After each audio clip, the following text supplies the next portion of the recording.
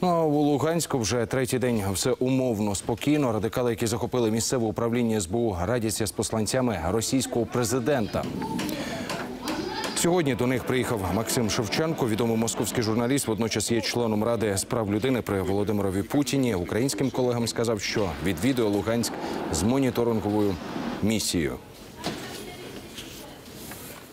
Моя задача донести до, в частности, до киевских властей, вот сейчас я к вам обращаюсь, что эти люди не террористы, не сепаратисты, не бандиты, не российские военнослужащие, что это народ, который э, как бы не уверен в своем будущем.